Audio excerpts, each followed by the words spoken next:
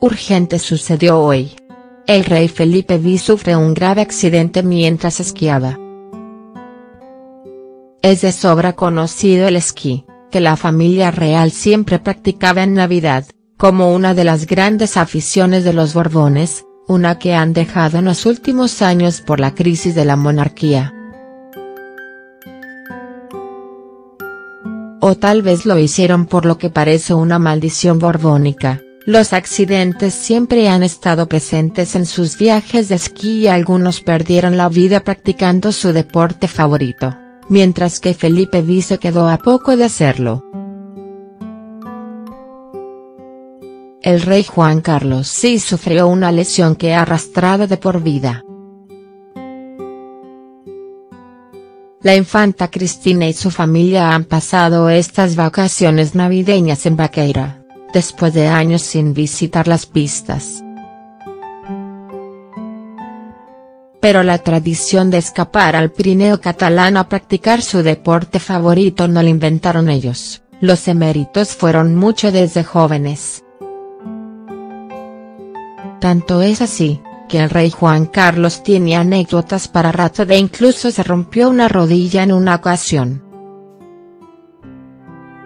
Era la meseta tibial externa y requería intervención quirúrgica, según el médico de la pista que le atendió en el momento, Manuel Alex Vidal. Estaba en lo cierto. La lesión en el futuro le acarreó mayores problemas de movilidad. El incidente sucedió en el año 91, cuando el emérito tenía 53 años, al ser alcanzado por otro esquiador, que resbaló al girar chocando contra él. Con motivo de la operación que tuvo lugar como consecuencia del golpe, la familia canceló las vacaciones y el rey comentó jocosamente, días después, que había sido mala pata.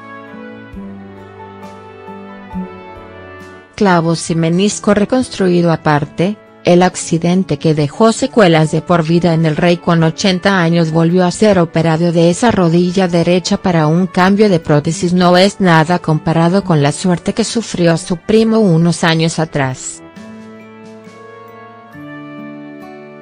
También a la edad de 53 años, Alfonso de Borbón tuvo otro accidente de esquí, que tuvo un final mucho más trágico y tal vez a consecuencia del mismo la familia desterrara Colorado del mapa para siempre como retiro de invierno. El duque de Cádiz falleció de forma extraña mientras pasaba las vacaciones blancas de enero de 1989 en la estación de Beaver Creek.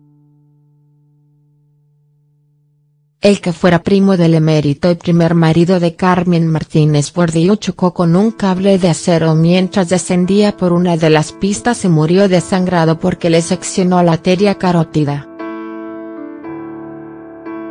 Las especulaciones en torno al suceso siempre han estado presentes, pero la policía cerró el caso declarando negligencia contra la pista de esquí que pagó a la familia lo que se traduciría en más de un millón de euros actuales. La investigación sobre la más de media hora que tardaron los servicios sanitarios en llegar al hecho de que el cable se levantara por un operario a la altura de 1,75 metros justo cuando él pasaba a pesar de que iba junto al campeón de esquí Tony Sailer nunca llegó a buen puerto. Sin embargo, su madre, Emmanuela Dampierre, siempre sostuvo que había sido un asesinato orquestado para frustrar sus aspiraciones al trono francés. Quien no tuvo, para su suerte, un accidente del estilo fue el actual rey Felipe V. Cuéntale periodista Pilar Aire que cuando era joven podría haberse caído por un acantilado para salvar a unos esquiadores por los que no se podía ya hacer nada. Por lo visto, tuvieron que frenarlo para que no se lanzara al vacío intentando socorrerlos. Otro incidente que se quedó en un susto tuvo lugar en 1978 cuando ya colocó una bomba durante un apagón en el Hotel Moncarto, muy cercano al chalet de La Pleta en el que se alojaba la familia real.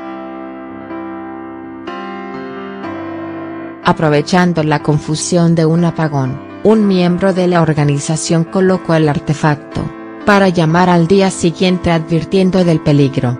El resultado fue el desalojo del hotel y la detonación controlada del artefacto por parte de la policía.